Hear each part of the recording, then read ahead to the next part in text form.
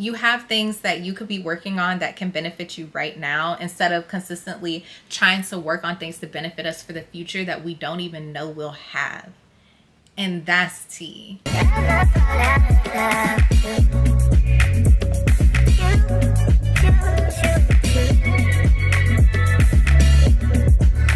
Hey Baes, welcome back to my channel. I'm not doing anything special on my makeup. It's the same makeup that I have from my previous Get Ready With Me. So if you want like more details on like the products and the actual makeup that I'm using, I'll have that linked for you to watch. Yes. I haven't seen y'all Get Ready With Me wise since, what was that? Like the first couple of days of January. We have? Which is insane to me. Um, time has been flying so fast. And I kind of talked about this a little bit on my TikTok. I know I can't be the only person that feel like life is just going by so fast right now. Like there used to be a time where I could really feel myself living and things just took their time, you know, like just moments took their time. And now I feel like I wake up and it's five o'clock like the sun is literally about to go down. I just, I don't get it. I genuinely feel every day is like a couple of hours long. So I have been trying to make the most of my days, trying to do so much within each day. And I actually had to take a step back last week. I had a couple of days off and I started feeling really sad um, just out of nowhere, I was talking to my girl Natalie and I got off the phone with her and then called her back a couple of hours later and she was like, What happened to your energy? Like, you seem down. And I was like, Honestly, girl, I don't know. And that was after me working eight days in a row.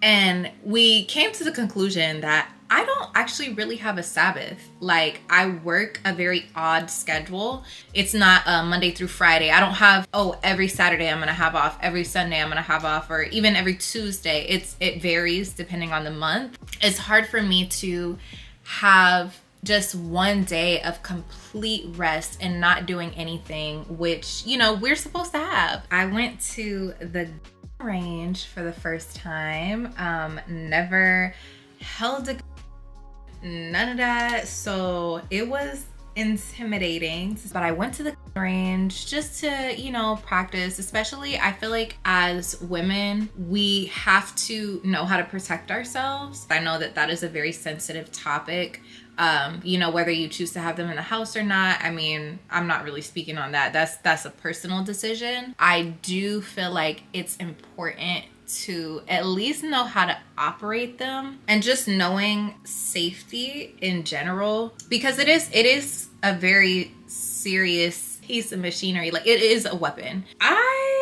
I'm just proud of myself for getting through it because y'all know I've been working through my anxiety. So just exposure therapy, it was a part of my exposure therapy, getting out of the house and putting myself in an unfamiliar environment that I haven't been in yet and just being open to learning different things. I think I get a certain level of anxiety when it comes to new places, new people, and new experiences. So I'm pushing myself at least once or twice a month to get out and do something that's kind of out of my comfort zone. And I really enjoyed myself actually. Um, it was not as scary as I thought it was gonna be.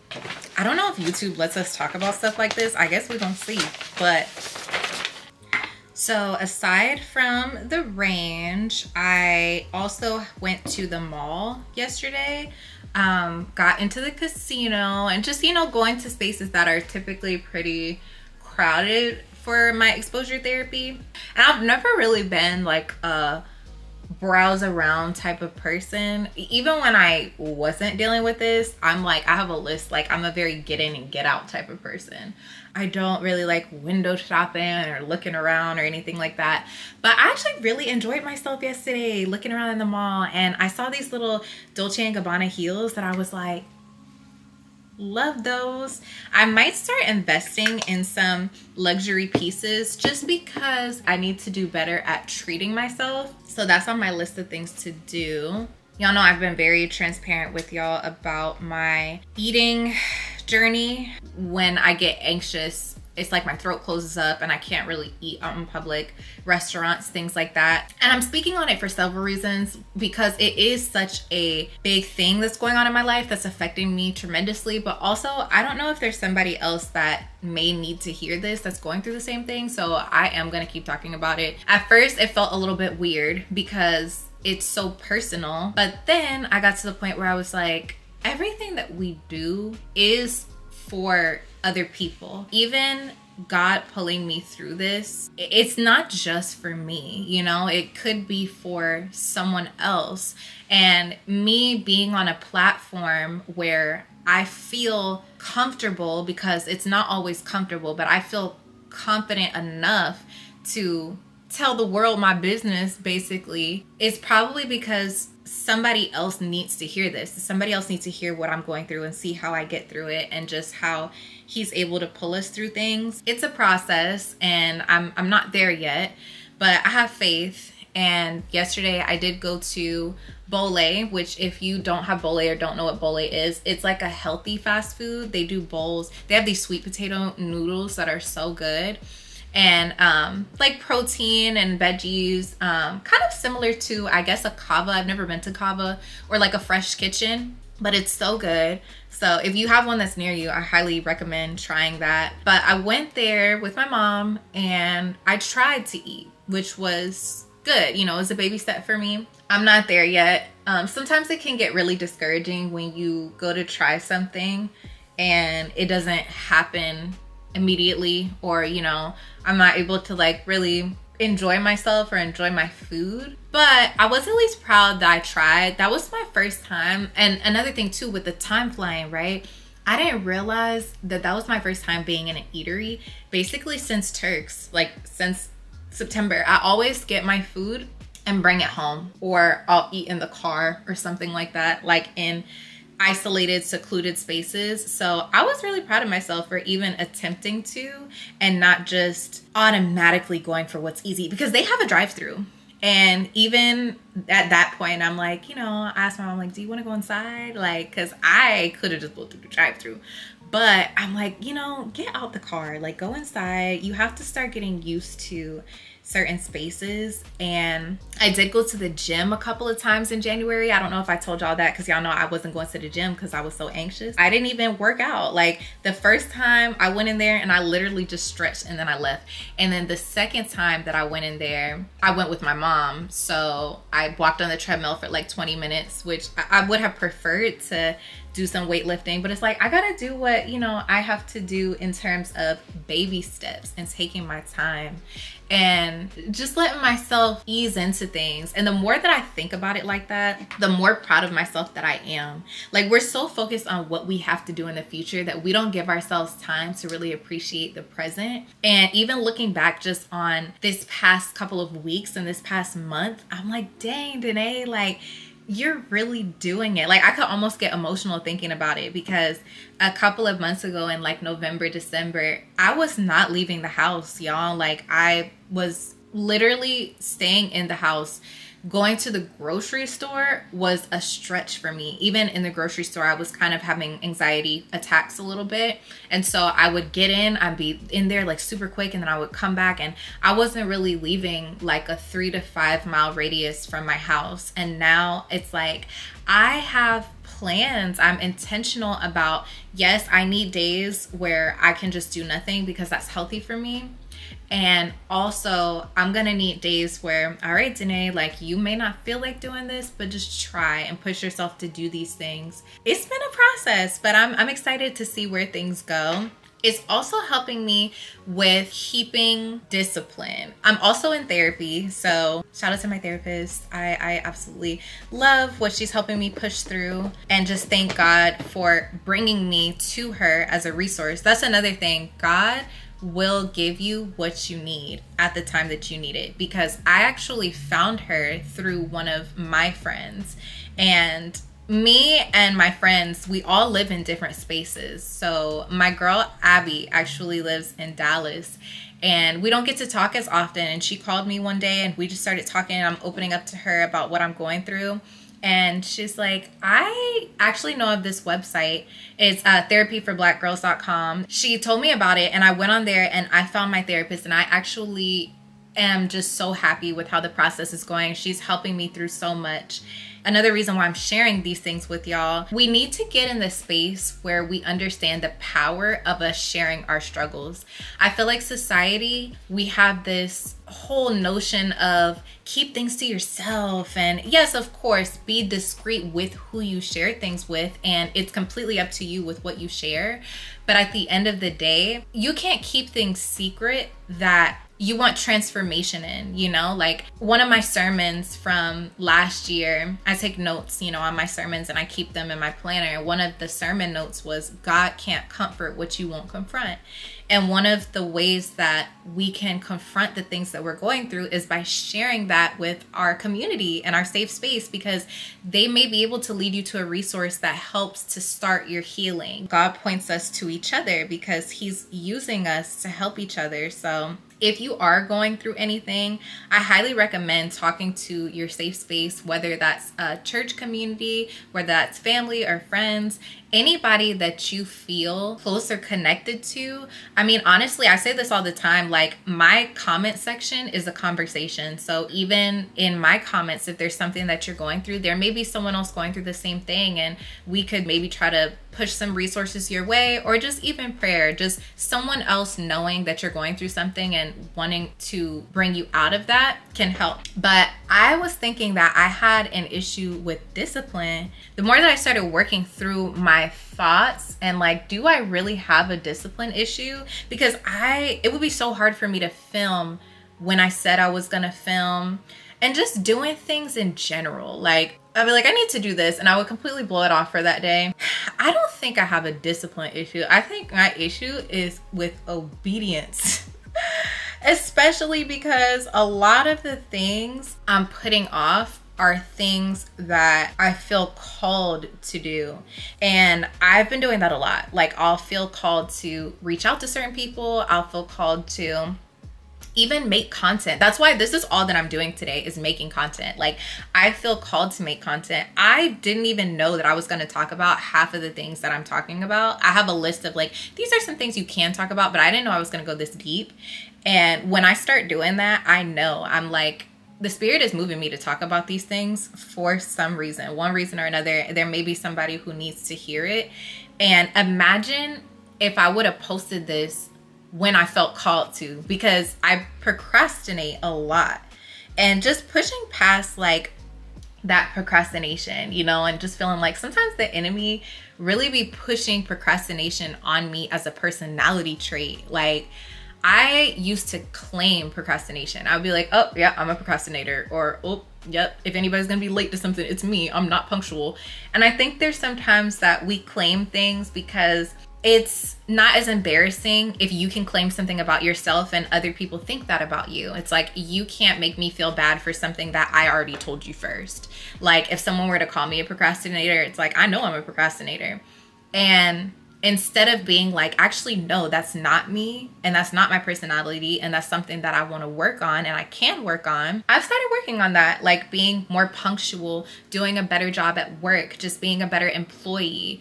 And even if you're in a workspace that you don't want to be there it's like you're doing good work not because you want any sort of accolades or not because you want anything from it but just like doing good work because i want to be a good representation of god. I feel like I'm prolonging or delaying parts of my purpose because I don't feel like doing the things that I want to do at that time or on that day. And I try to make it convenient for me. Like, okay, I'm going to talk about something and this is going to be a journey video that I film, but I'm not going to film it until I have a day off. And y'all know sometimes I don't have a day off until literally a week later. I work like seven or eight days in a row sometimes. I'm like, I'm going to film this on the ninth instead of filming it on the first. And or it just like when i feel called to film something and speak about something i should be filming it that day honestly. Like when i have these feelings sometimes we get these ideas and also we take a lot of credit for our ideas. Like we take a lot of credit for our cre- creativity instead of giving the credit to the creator. Like the things that pop in my head are not my own you know? They're they and they i feel like they just come from out of nowhere but they're really not coming from out of nowhere honestly. Like you know? So i'm just doing doing better on being obedient so that i can be a vessel um and just reach whoever i need to reach even if it's just you know one person. I really struggled with feeling purposeless a couple of years ago, like before I gave my life to Christ, I used to feel really, really purposeless. Like, and I was struggling on like, I, what is my purpose? And, and just feeling like my purpose is being tied to a job somehow. I felt like because I wasn't enjoying what I was doing in my career and because I wasn't making a certain amount of money or whatever that I just didn't have a purpose or because I, I didn't have kids and I wasn't married.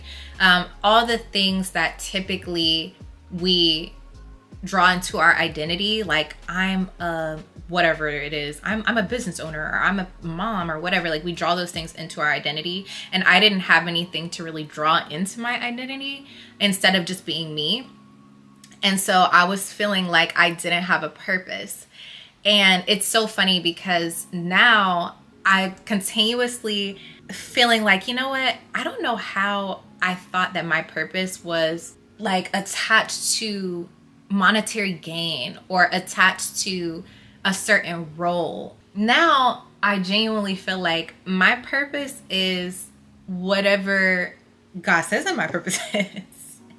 and it's the my stress levels on life have went down so much. Me feeling like I'm here for a purpose and not having to figure out what that purpose is. I just know that I'm here for a purpose and he's gonna use me in that way. And sometimes we don't see it until after it's already been done. It's this it's in the details, you know, it's in the small everyday things. Like every day there's a purpose for what we have going on. And my grandma is a pastor. I, am pretty sure I mentioned that to y'all before, but if I haven't already, my grandma is a pastor.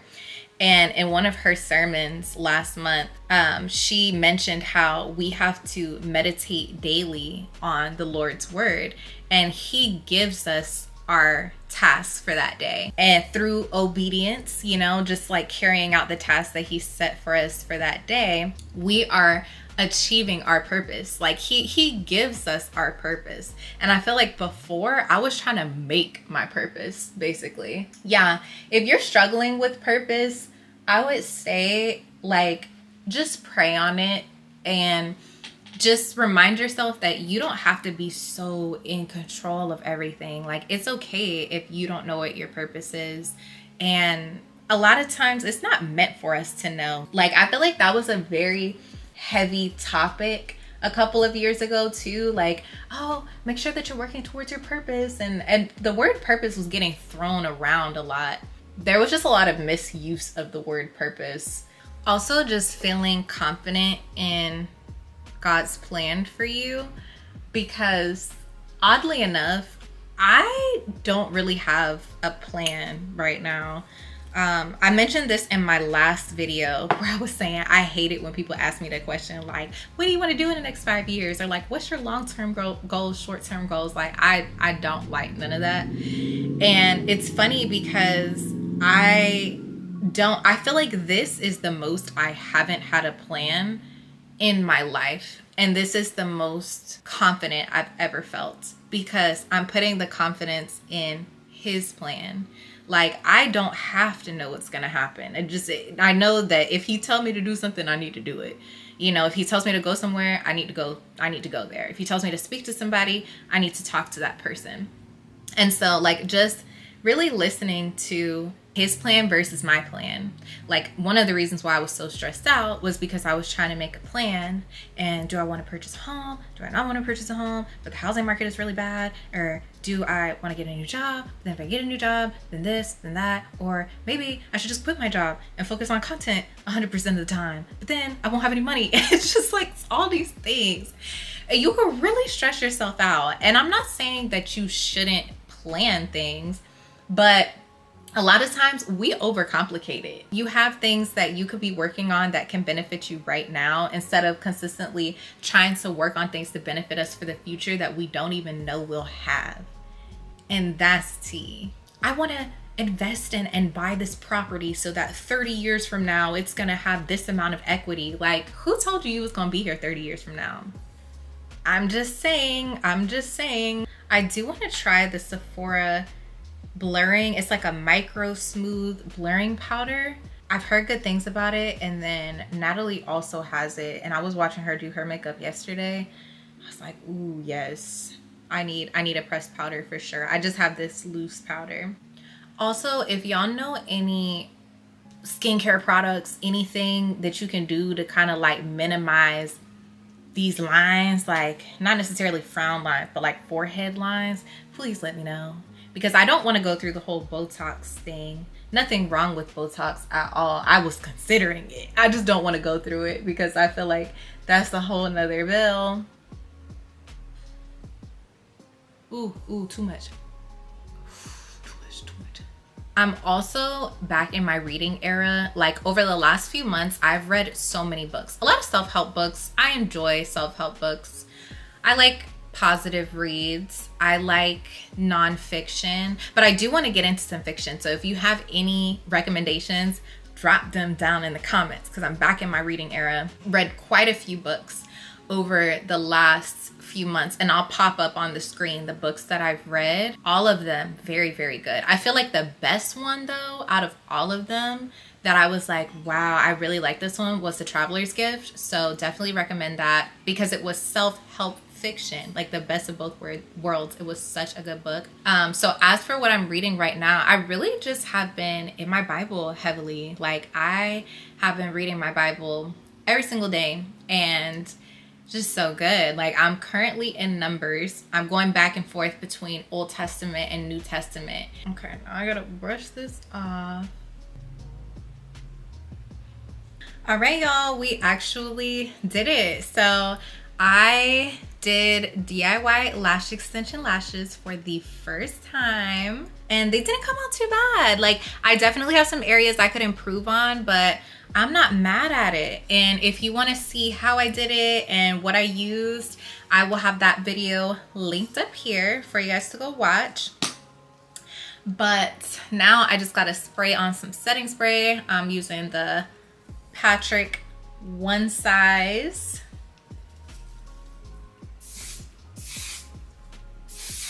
Okay, and we're done. We're done. That's we're done. We're ready.